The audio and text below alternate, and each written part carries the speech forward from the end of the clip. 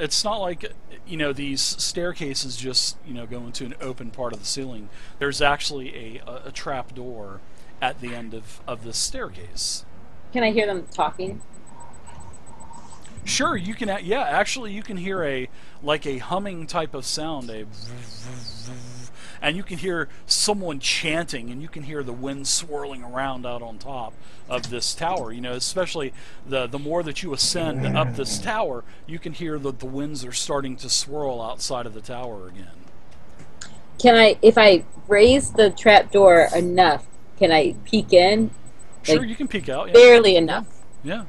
Yes, you can. You see outside of this the flat part of the tower, and on the other on the opposite side of you, you see that there are four figures, four guards that are all armored. They have weapons. They're not facing you either.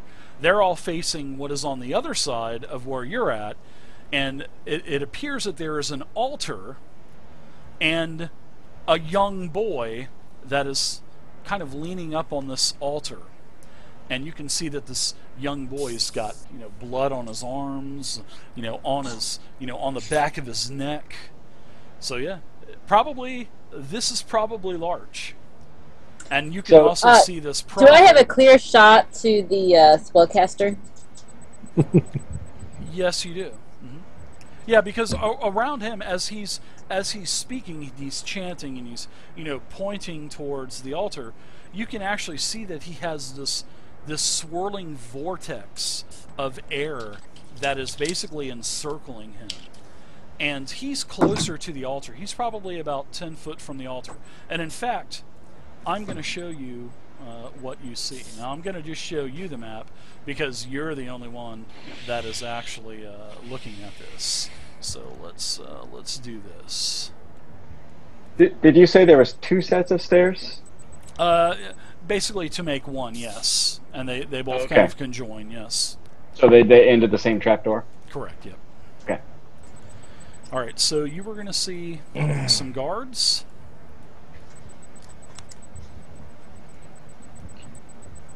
I'm assuming the priest is towards that red object there. Yeah, pretty much. Exactly.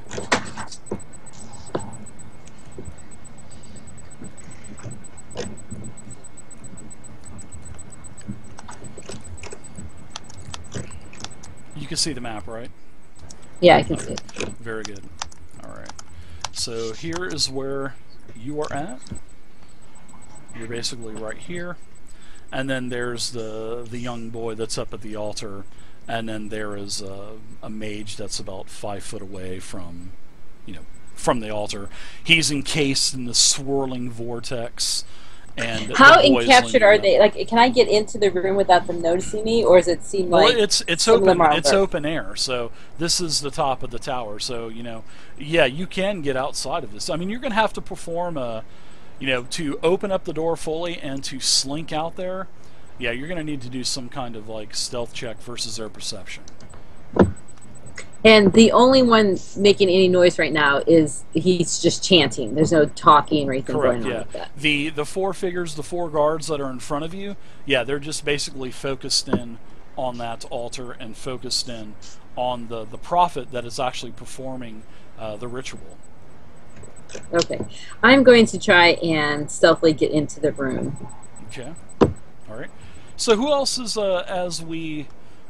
I think we're starting to move up in? behind. Yeah. Yeah. Where is everyone else? Is it because I'm I'm right behind Sylvia, and then I was waving other people up. Gildan. Yeah, I'm, I'm behind him. Okay. I think Gildan's behind me.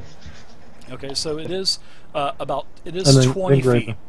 So whoever is not on the staircase will have a little bit of movement to make before they can actually get up to the tower. So, but uh, whoever is on the staircase, I'll be the last one up because I was kind of checking on the bodies as well. Okay. Yeah. Okay. I'll put myself at the back here.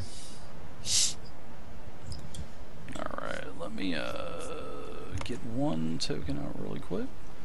If you guys want to kind of maybe if you want to kind of describe what you see to everyone really quick, uh, Sylvia. As you kind of sl- just before you slink out of the door. Yeah, just because- before I slink up, I, I kind of motion. One priest spell. Four warriors. Not pay too much attention. Come on. Does not look good. Then you have large, look very poor. Come, come see. I'm glad I did not have time to unpack in my room. Still had my crossbow on me. And I Yeah, so I'm basically going crossbow. to, to stealthily get up there and take a good aim at the uh, the spellcaster there because I'm not very dis- I'm not very trustful of anyone with magic in this town. And um, I'm going to, uh, after she leaves the trap door, I'm going to keep it propped open a couple inches to peek out. And I'm going to, once she fires her arrow, I'm going to prepare a command spell at the spellcaster also. Okay. So if they're in, if, if it seems like they're kind of readying themselves, once they're prepared, I'm going to go ahead and shoot. You, Let me know if you want me to. You've got total surprise on them. They they do not even acknowledge that you came out of that trap door, and you are you're actually out on the top. And you know, like I said, this mm-hmm. whirling vortex is around. You know, the prophet. You can also you know feel that the winds are not strong like they were down at the base of the tower, but there are some winds up here, and they have no clue that you're even here because, like I said, their backs are facing you. So, So I'm going to go ahead and take a them, shot, Yeah, you will and have hopefully total that he doesn't see where it comes from. all right, so yeah, next time you want to do that, uh, yeah, you're really quick on rolling the die. So go ahead and uh, roll another attack because you're going to have advantage on this attack because you are. so generally, what would I do You for have it? the element of just so I know.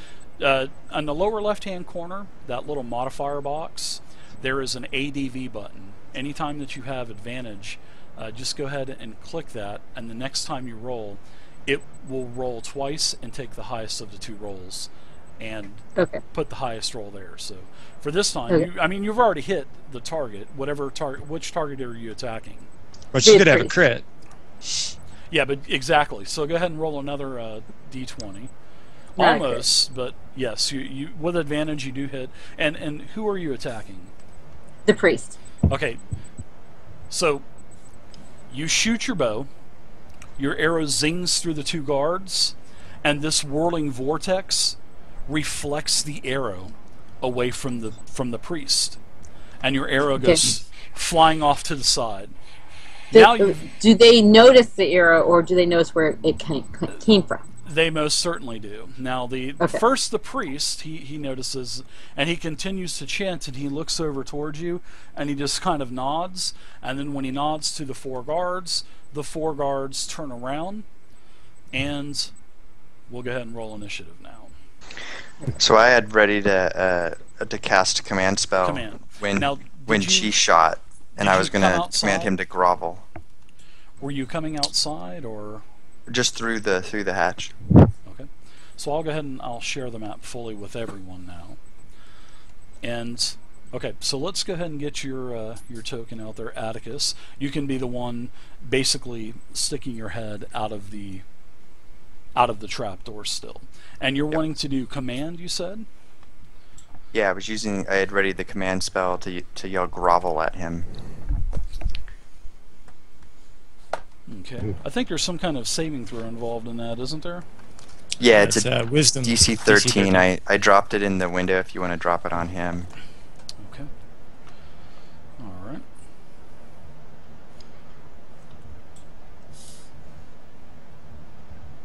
Wow, the guards are going to go first, aren't they? I'm in the bottom of the stairs, so that's probably okay with me. Yeah, the uh, the failure, uh, the, the saving throw is a failure. Now, as for, I need to read a command really quick. Yeah, I, I was um I was targeting the the priest with that. yeah, they're all gonna. Have, I think they're all pretty much gonna have the same stats. I need to. Oh, He can- he can yeah, it link says it he in the falls chat, I prone and ends his turn. I was hoping to disrupt whatever he was doing. Yeah. I'll have to learn that. That's very uh, that's a very useful spell.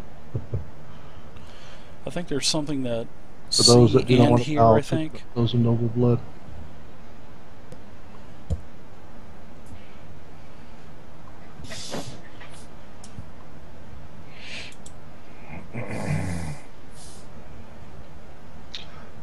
One of us goes first.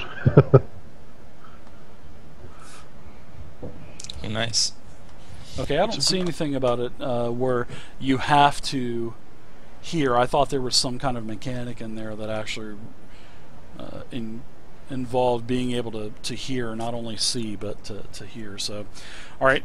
So the, the priest failed the saving throw, and the priest starts to grovel as he goes to his knees. Now the other guards have turned around. Everybody needs to go ahead and roll initiative. And Chris, on your character sheet, when you open it up, did you find the initiative button by chance?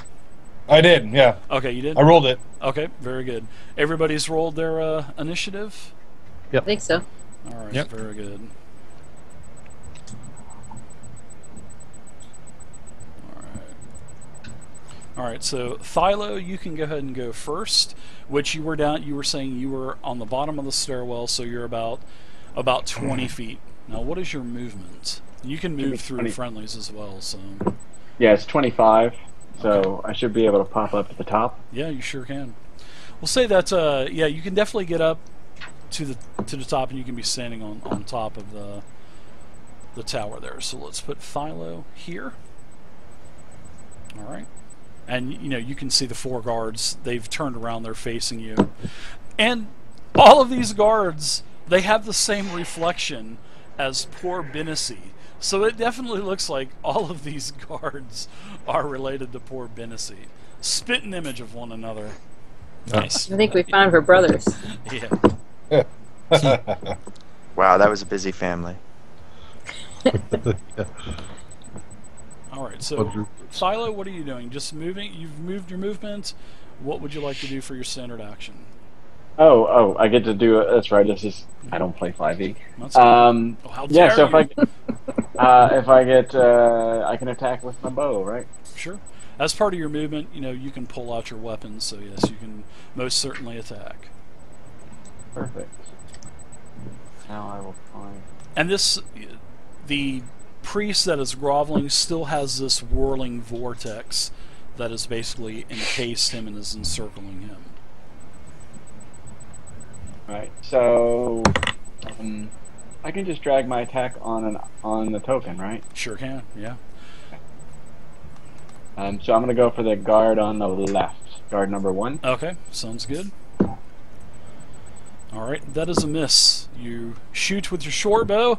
The guard takes, and sees the arrow coming, and just knocks it off to the side.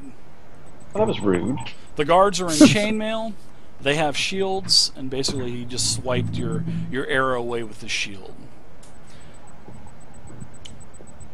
All right. Next, let's go with the guards. So it is guard. It might have been one. easier to hit if he was a goblin. Hmm. Guard number one is going to move up and attack Atticus. He is going to attack you with a spear. And he hits you with a 13 Atticus. Now, if I'm still um, with a partly open hatch, do I get cover? Uh, not as he, not if he's pointing down at you. now. Now, if he was shooting at you, sure, yeah. But he's kind of, you know, the door's open, the hatch is open, the other halfling has popped out. He's just basically attacking down at you. Fair enough. All right, so you'll take a total of two piercing damage.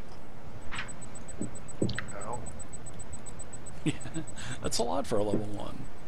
Yeah. Guard number two, uh, he is going to fall back. Guard three is going to fall back. Guard four is going to move up and attack Thilo. He is also wielding a spear, and he charges at you as he yells, For the cloaks! And he whiffs as the spear, as he misjudged your height and kind of swung the spear over your head. All right, Sounds about right. Sylvia, it is your Uh, turn now. Does 5e have uh, flanking and backstabbing? No, there's optional rules for it in a DMG, but we won't use it. So there's no advantage you- to me getting right behind him? Nope. Well, you will if you're adjacent, if anyone is adjacent to it, you do get your sneak attack. Correct. you just don't yep. get an advantage on it. Yeah, you just won't get a you just won't get advantage. But if I You'll okay, do more I'm damage if you hit. I'm gonna move my guy. You guys tell me if there's advantage if I move my person there. no, It- It's not an advantage, but if you hit it, you'll deal sneak attack damage. yeah, Th- That, that's what I uh, uh, advantage, not in the five E advantage. I meant an Yeah. actual advantage, like sneak attack. Okay, yeah. so I'm gonna attack with my rapier then. Okay, sounds good. Yeah, like I was saying, there's some optional rules in the DMG for flanking that would give you advantage on your attack, but we're, we're not going to use those. But your attack, Okay. nonetheless, with your rapier is a hit. So you can go ahead and, and roll your damage. Do I have to? Do I need to do anything for the sneak attack, or I just roll the damage and it Uh, applies you, it? you'll get you'll get sneak attack. So on your character sheet, you should have a. Hopefully, you'll have a uh, sneak attack pendant that you can drop on there. Where would I find that? Uh, you'll have Uh, to. Put, I think step. you'll have to put that on there manually, maybe, unless it's automatically put on there now. Let's take a look at your character sheet. So yeah, go to your. No, you normally need to Yeah, add the have to- ability. Okay, so just for now, I think what a sneak attack will be one d six for you.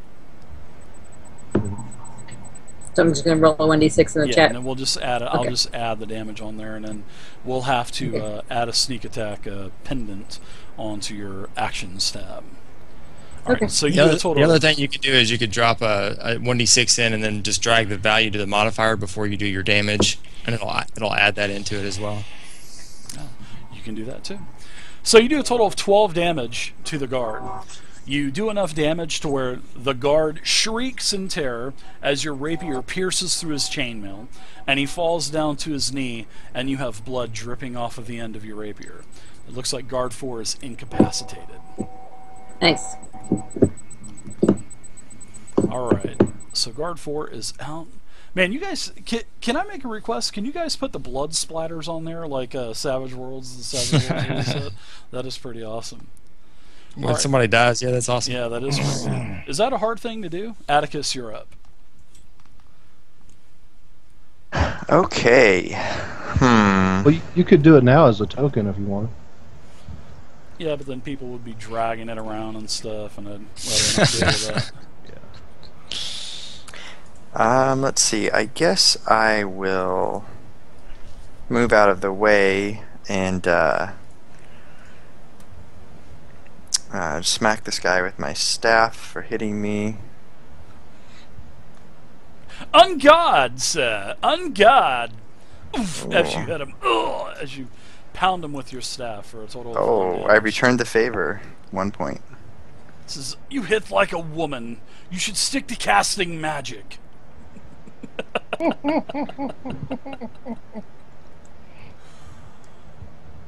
Alright, so any other movements? Go ahead and take it. Graven, I, you're I'm up. done. How far down were you, Graven? Uh, I was just a little, like, maybe halfway down. Alright, so we'll say that uh, So 10 feet. I'm gonna, yeah, I'm gonna come up the stairs, and uh, I, I don't want to end up adjacent to that guard that's fighting Atticus. Okay, you want to come over Uh, here? so if I could end up like, yeah, that'd Sure. be great. Yeah. Um, and then I, I guess my question is, uh, I'm going to cast a spell here, and uh, I want to target these uh, the two guards in the back here, and the spellcaster would all be in the area. Um, is there?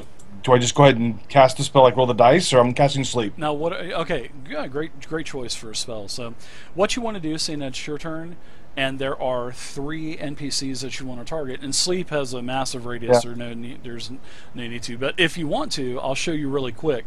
Now, if you right-click on the actual map itself, there will be a radial menu Yeah. come up, and you can click on pointers in the upper left-hand corner, and you can draw a circle hit the circle, and then you can draw a circle to how big your your AE is going to be.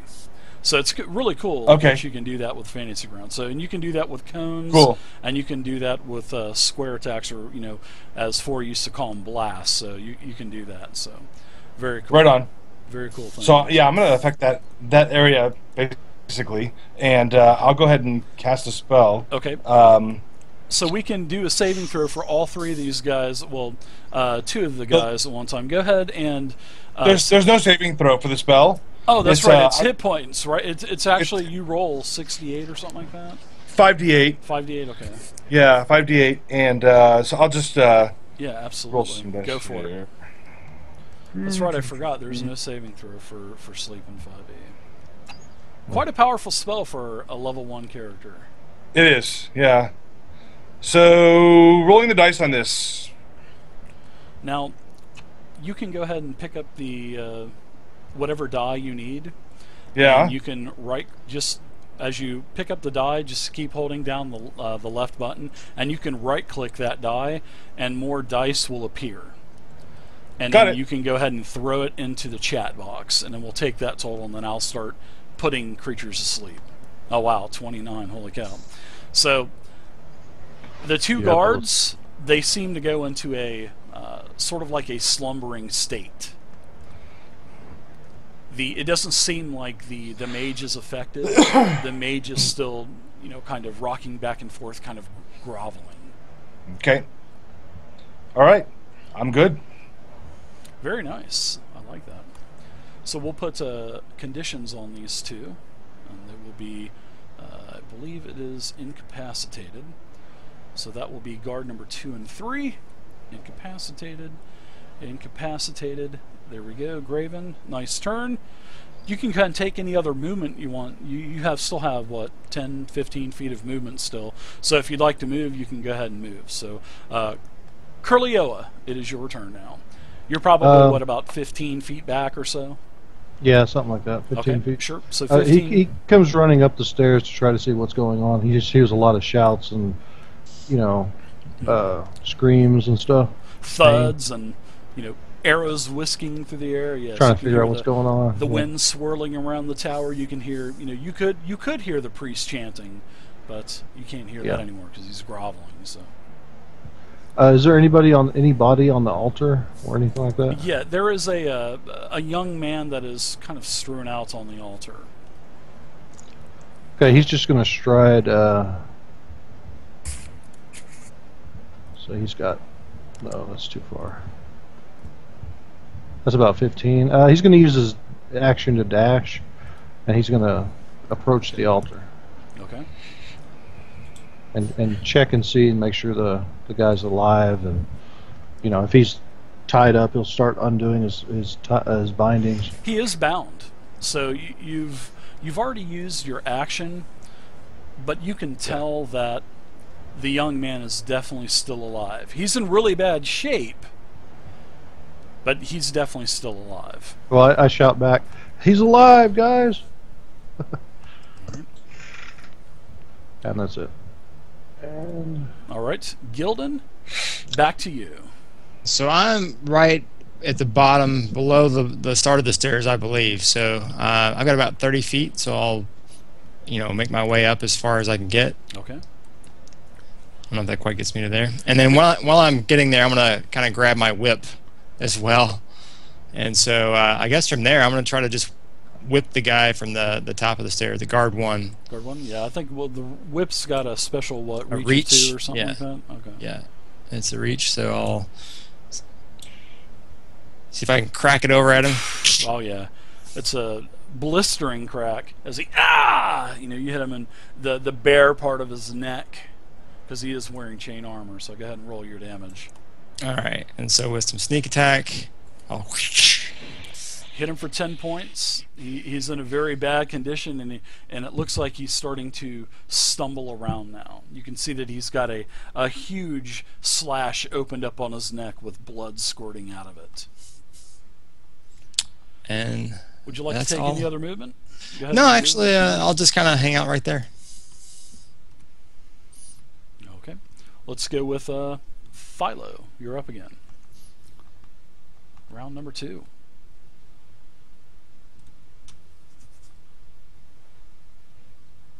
Can't hear you, Carl. You might be muted. I was muted. Um, everybody seems to be incapacitated or dying. What what happened with the priest? Is he still? The priest is is groveling. Groveling? And how how long is it a saving throw at the end of every turn or or what? It's just one round. One round. Okay. So yeah, he he is not groveling anymore. He's starting to shake the the cobwebs, I guess you could say, out of his head. It looks like he's he's fixing to stand up. Oh well, it seems that seems a valid target. Okay. So I guess He does I have will. a, a whirling vortex around him as well. You do notice that that is something that is quite interesting.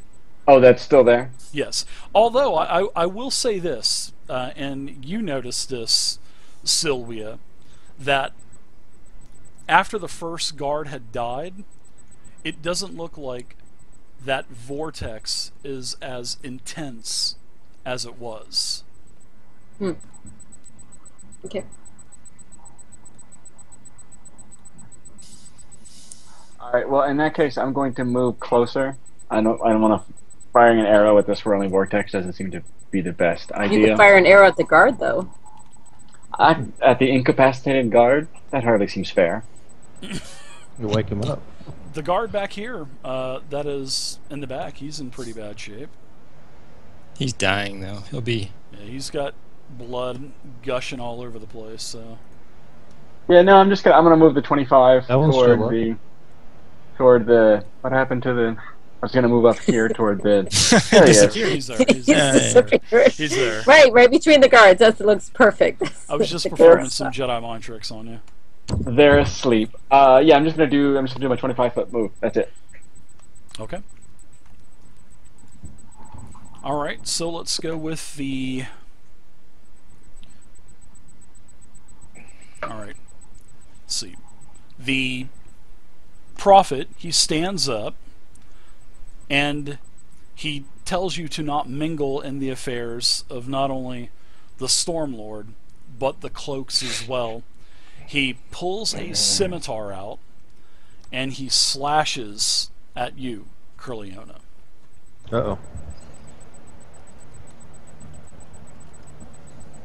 Alright, so let's see. The attack with the scimitar is a 17, which is a hit.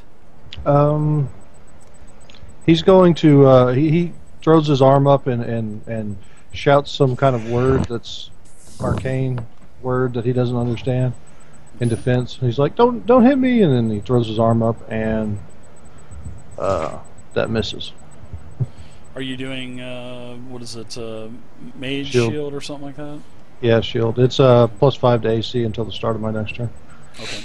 So go ahead and drop the plus five pendant if you have one onto your onto your character, and that will let's see should make it miss.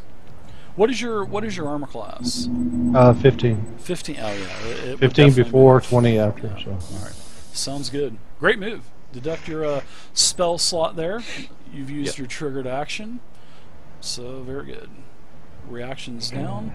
Let's go to the guard that is on his his last leg. He he, you know, he's swinging for the fences. He's trying to take Atticus's head off.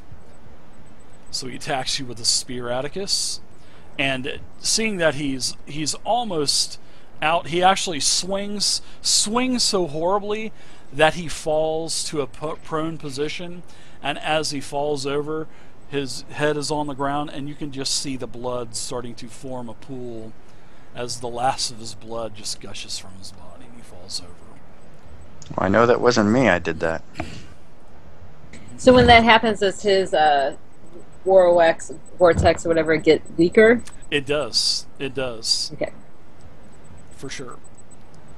All right, so let's go to the next guard, and I'm going to put a couple of, of blood stains here to represent the the dead guys.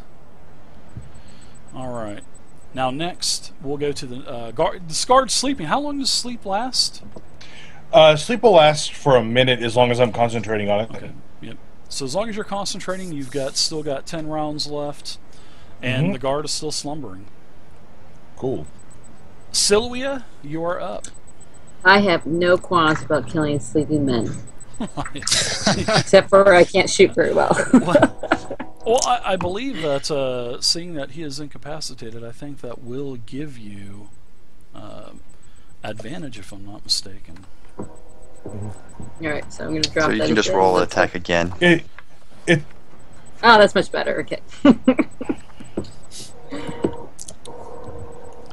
so, do you want me to go ahead and roll the damage? Uh, yeah, I'm just uh, double checking something really quick. Yeah, and you can actually go ahead and add in sneak attack too.